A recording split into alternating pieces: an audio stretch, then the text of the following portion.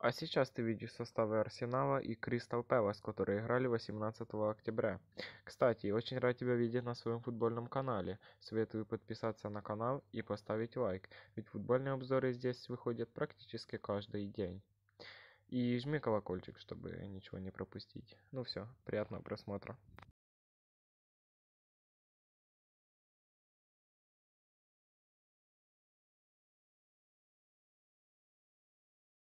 О боже, какая драма, вы только посмотрите, какой смачный гол Пьер Эмерик закидывает в копилку Арсенала на восьмой минуте. Вы только посмотрите на это, это просто шок.